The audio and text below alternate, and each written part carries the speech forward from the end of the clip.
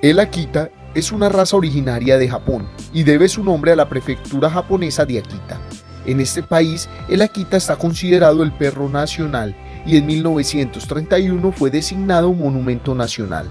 Se desconoce el momento exacto en que apareció la raza, puesto que tiene más de 3.000 años. Su historia se mantiene oculta, pero se cree que pudo provenir de otras razas originarias de Japón y sus cruces con algunos perros llegados de Europa.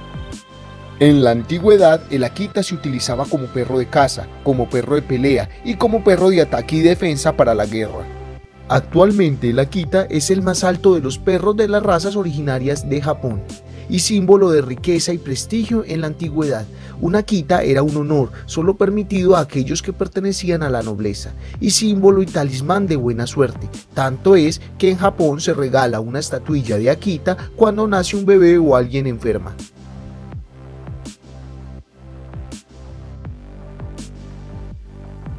El Akita Inu es un perro de tamaño grande, muy proporcionado y estilizado en toda su figura, con un cuerpo musculoso y fuerte. Llama la atención su gran cabeza, también proporcionada con el resto del cuerpo, con un hocico potente y bastante ancho.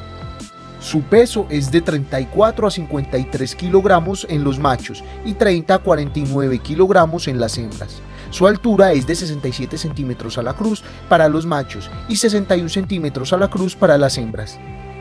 Aunque el Akita Inu y el Akita americano comparten muchas características, lo cierto es que están considerados como dos razas diferentes. El Akita americano parte del Akita Inu y de los primeros ejemplares que llegaron a Estados Unidos después de la Segunda Guerra Mundial. El Akita americano se diferencia principalmente del Inu por el colorido de su pelaje, Además, el Akita americano es un poco más grande y robusto, más musculoso y con el pecho profundo. La mejor forma de diferenciar a ambas variedades es a través de su cara, puesto que generalmente el Akita americano presenta una máscara negra alrededor de su hocico y de sus ojos.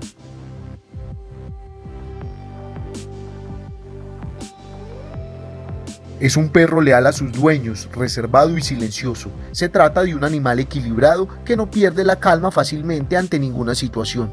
Sabe tomar decisiones y actúa siempre con firmeza. Tiende a ser dominante y territorial, pero también muy sociable si se socializa correctamente desde cachorro.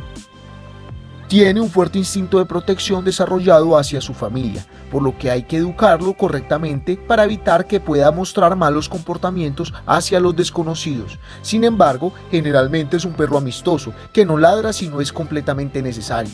Se adaptan además a la vida en cualquier lugar, pero es necesario ofrecer un alto nivel de ejercicio diario.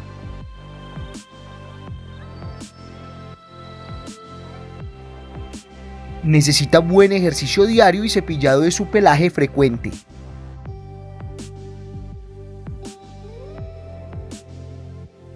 El Akita es un perro generalmente saludable, pero puede ser propenso a algunas enfermedades como displasia de cadera, patologías del sistema inmunológico, patologías de la rodilla, disfunción de la tiroides y torsión gástrica.